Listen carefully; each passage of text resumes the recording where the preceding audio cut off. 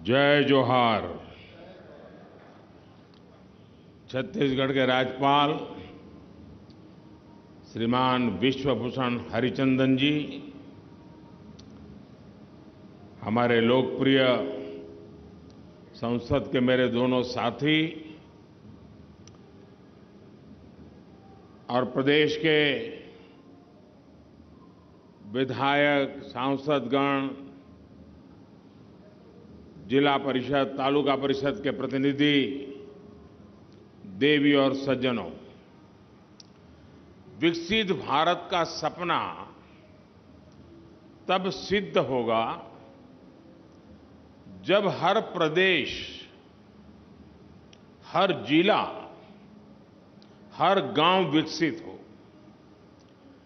इस संकल्प को शक्ति देने के लिए आज यहाँ लगभग सत्ताईस हज़ार करोड़ रुपए की योजनाओं का शिलान्यास और लोकार्पण हुआ है। मैं आप सभी को, छत्तीसगढ़ की जनता को बहुत बहुत बधाई देता हूँ। मेरे परिवारजनों, विकसित भारत के लिए फ़िज़िकल डिजिटल और सोशल इंफ्रास्ट्रक्चर भी भविष्य की जरूरतों के हिसाब से होना चाहिए। यही वजह है, हमारी सरकार ने पिछले नौ वर्षों में इंफ्रास्ट्रक्चर पर होने वाले खर्च को बढ़ाकर इस साल 10 लाख करोड़ रुपए कर दिया है। ये पहले के मुकाबले छह गुना ज़्यादा है। साथियों, ये जो आज देश में rail, road, airport, power project, गाड़ियाँ, गरीबों के घर, स्कूल, कॉलेज, अस्पताल बन रहे हैं, इन सब में स्टील का बहुत बड़ा महत्व है। स्टील निर्माण में भारत आत्मनिर्भर हो, इसके लिए बीते नौ वर्षों में अनेक कदम उठाए गए हैं। एक बड़ा स्टील निर्माता राज्य होने के नारण छत्तीसगढ़ को इसका बहुत लाभ मिल रहा है। छत्तीसगढ़ की इसी भूमिका को विस्तार देते हुए आज नगरनार में भारत के सबसे आधुनिक स्टील प्लांट्स में से एक का लोकार्पण हुआ है।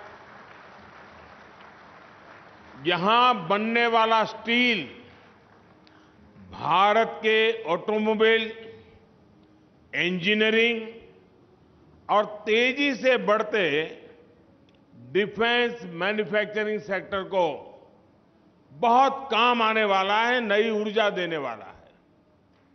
यानी बस्तर में जो स्टील बनेगा, उससे हमारी सेना भी सशक्त होगी और रक्षा निर्यात में भी भारत का डंका बजेगा। इस स्टील प्लांट के कारण बस्तर सहित आसपास के इलाकों के करीब करीब पचास हज़ार नौजवानों को पचास हज़ार नौजवानों को रोज़गार मिलेगा।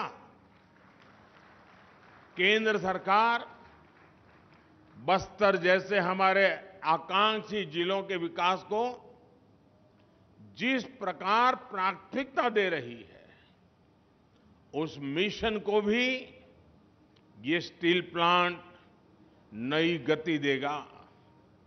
मैं इसके लिए बस्तर के छत्तीसगढ़ के नौजवानों को बहुत बहुत बधाई देता हूँ। साथियों, बीते नौ वर्षों में केंद्र सरकार का विशेष फोकस कनेक्टिविटी पर रहा है। छत्तीसगढ़ को भी इकोनॉमिक कॉरिडोर्स और आधुनिक हाईवे मिले हैं। 2014 से पहले की तुलना में छत्तीसगढ़ का रेल बजट करीब करीब 20 गुना बढ़ाया गया है। आज राज्य में रेलवे की कई बड़ी परियोजनाएँ चल रही है। आज़ादी के इतने वर्षों में भी अब तक छत्तीसगढ़ के ताड़ोकी को रेलवे के नक्शे में जगह नहीं मिली थी। आज ताड़ोकी को नई रेल लाइन की सौगात मिल रही है। इससे आदिवासी साथियों को सुविधा भी मिलेगी और खेती किसानी से लेकर वन उत्पादों का परिवहन भी आसान हो जाएगा। रायपुर, अंतागढ़ डेमू ट्रेन से, अब तड़ो की, ताड़ो की ताड़ो की भी जुड़ चुका है। इससे राजधानी रायपुर आना जाना आसान हो जाएगा। जगदलपुर दंतेवाड़ा रेल लाइन दोहरीकरण प्रोजेक्ट से आवाजाही भी आसान होगी और उद्योगों की लॉजिस्टिक कॉस्ट भी कम होगी। रेलवे की ये सारी परियोजनाएँ इस क्षेत्र में बड़ी संख्या में रोज़गार के नए अवसर भी बनाएगी। साथियों, मुझे खुशी है कि छत्तीसगढ़ में रेलवे ट्रैक्स के शत प्रतिशत बिजलीकरण का काम पूरा कर लिया गया है।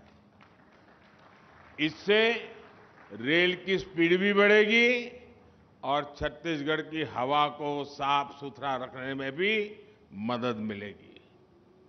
छत्तीसगढ़ में रेल नेटवर्क के पूरी तरह बिजलीकरण के बाद राज्य में वंदे भारत एक्सप्रेस का भी संचालन किया जा रहा है। साथियों, आने वाले वर्षों में भारत सरकार छत्तीसगढ़ के रेलवे स्टेशनों का भी कायाकल्प करने जा रही है। राज्य के 30 से ज़्यादा स्टेशनों को अमृत भारत स्टेशन योजना के तहत चिन्हित किया गया है। इनमें से सात स्टेशनों के पुनर्विकास का शिलान्यास किया जा चुका है।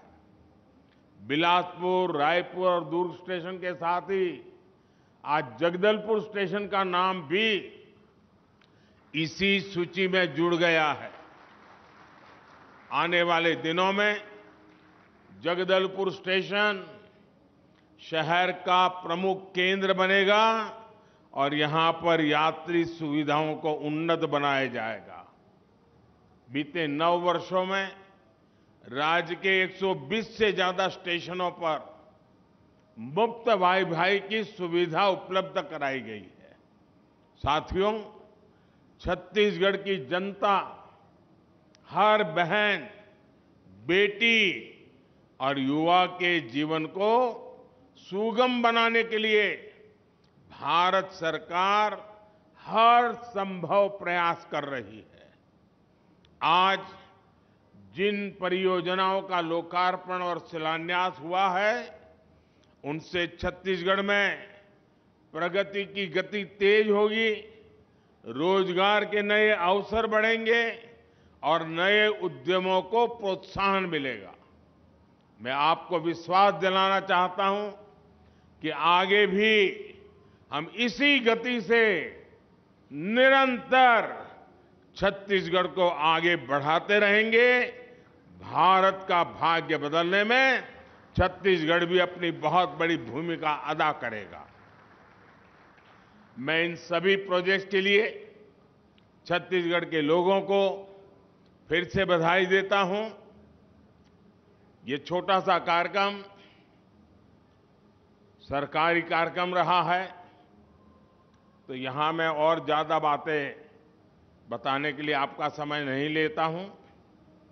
अभी 10 मिनट के बाद मैं दूसरे एक सार्वजनिक कार्यक्रम में बहुत सारे विषय छत्तीसगढ़ के नागरिकों के लिए ज़रूर बताऊँगा।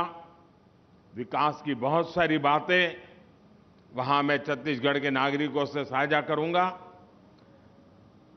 गवर्नर श्री यहाँ तक आए, समय निकाला। इसके कारण कम से कम राज्य का प्रतिनिधित्व तो नज़र आ रहा है। राज्यपाल जी को छत्तीसगढ़ की इतनी चिंता है, छत्तीसगढ़ के विकास की इतनी चिंता है।